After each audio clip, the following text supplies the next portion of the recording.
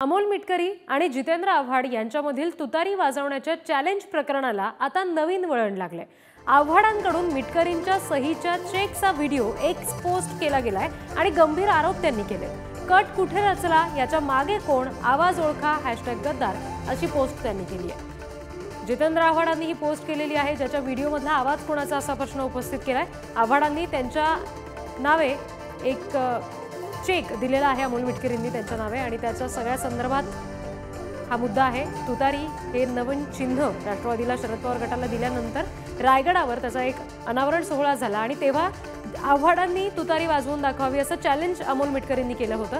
जे आव्हाडांनी पूर्ण केलं आणि त्याच्यानंतर जो चेक दिला होता त्याच्यासाठीचा जो मिटकरींनी व्हिडिओ केला त्याच्यावर पोस्ट करत गंभीर आरोप आव्हाडांनी केलेले. होते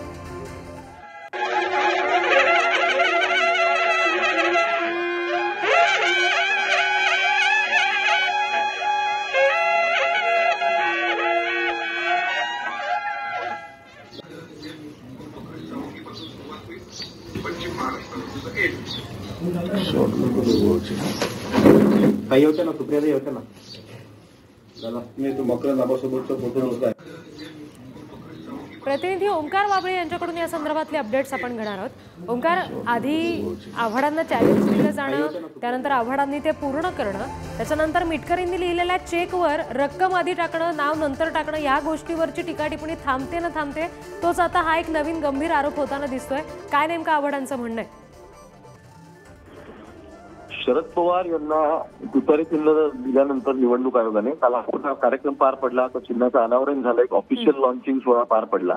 पण आता यामध्ये एक डेव्हलपिंग न्यूज अशी म्हणावी लागेल या सगळ्या प्रकरणात की आव्हाडांनी जो या संदर्भातला व्हिडिओ शेअर केलाय जो चेक काल राज्यभरात सगळीकडे व्हायरल होतं वेगवेगळ्या सोशल मीडिया असेल किंवा माध्यमांवरून की मिटकरी हे एक लाख रुपये द्यायला तयार आहेत जितेंद्र आव्हाड तिथे तुतारी फुंकणार असतील तर. आता आव्हाडांनी ती तुतारी फुंकली सुद्धा पण त्यानंतर रात्री उशिरा जवळपास बाराच्या दरम्यान त्यांनी एक- एक पोस्ट टाकली.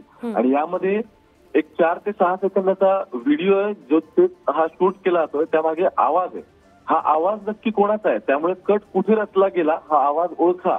आणि हॅशटॅग गद्दार अशी पोस्ट जितेंद्र आव्हाडांनी केली इंटरेस्टिंगली या सगळ्यामध्ये तीन आवाज ऐकू येतात. एक एकदम कमी ह्याच्यात ऐकू येतोय आणि एक जो आवाज आहे तो मकरंद आबा पाटील जे आमदार आहेत कराडचे इथले त्यांचा या सगळ्यामध्ये उल्लेख झालाय. त्यामुळे आवाज नक्की कोणाचा हे आता जितेंद्र आव्हाडच आपल्या सगळ्यात सांगू शकतील. पण आताच्या घडील तरी डेव्हलपिंग न्यूज आहे त्याचं कारण असं आहे की जर कट हा सगळा आहे असा जितेंद्र आव्हाडांना म्हणायचं आहे तर मग नक्की फक्त पॉलिटिकल अलिगेशन पर्यंत मर्यादित राहत नाही. हे प्रकरण त्या पुढे जाऊन आणखी काय नक्की घडणार आणि कोणत्या वळणावर जातं ते पाहणं महत्वाचं. बरं ओंकार या संदर्भात मिटकरींकडून काही स्पष्टीकरण आलंय का आव्हाडांच्या एक्स पोस्ट बाबत? मिटकरींशी काल संपर्क करण्याचा प्रयत्न केला पण काल ते या ठिकाणी नव्हते. त्यांचं त्यांनी सांगितलं की आज म्हणजे ते अकोल्यातून आणखी मूव्ह होतील आणि त्यानंतर या सगळ्याचे स्पष्टीकरण देतील असं त्यांनी सांगितलं. निश्चित. ओंकार धन्यवाद दिलेल्या माहितीसाठी.